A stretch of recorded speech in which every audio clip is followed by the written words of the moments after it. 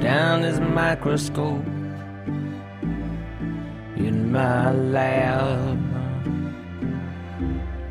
Say, hey, Jim, what you finding? Oh, nothing. Oh, now let me see here what you got there. I bet you got something real cool in that microscope, in the microscope. Oh, yeah.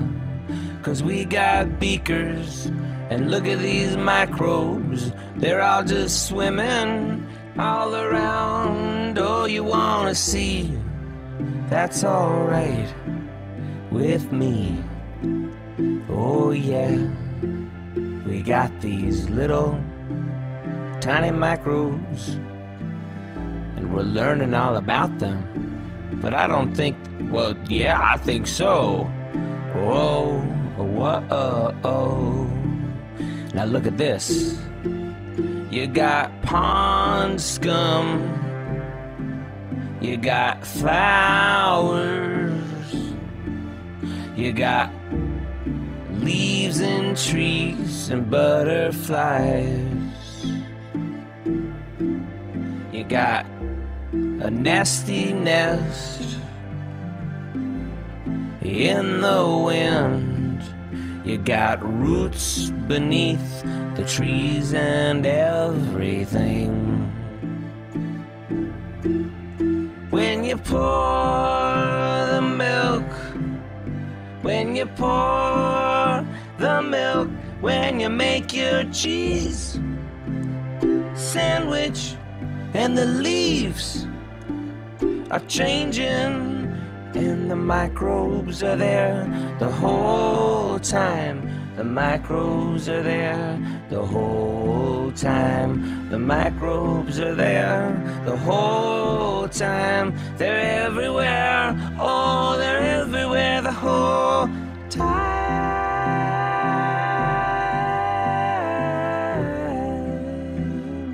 Even back when Isaac Newton was doing stuff. and he was looking at these bones. Well, he was thinking about microbes and bacteria. Ah, ah, ah. He came back to right at his desk with his big quill and he said, Hmm, bacteria. And then later, this gentleman with two big beakers and all.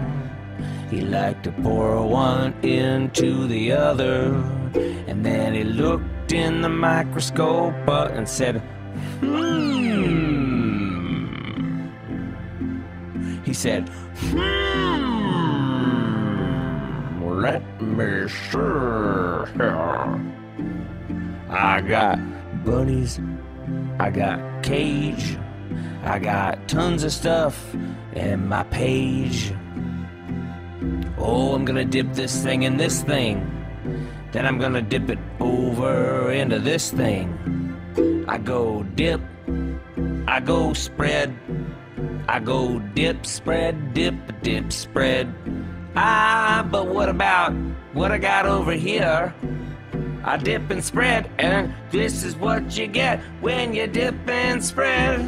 Mmm, now we're back in the present. Mmm, I got my book. I got my book, and I'm writing down what I see. Yeah. Oh. Yeah, we're just having a friendly chat. A couple of scientists, just like scientists throughout the ages. The parasites, sapphites, saprophytes, at autotrophs, parasites, saprophytes, autotrophs, microbes.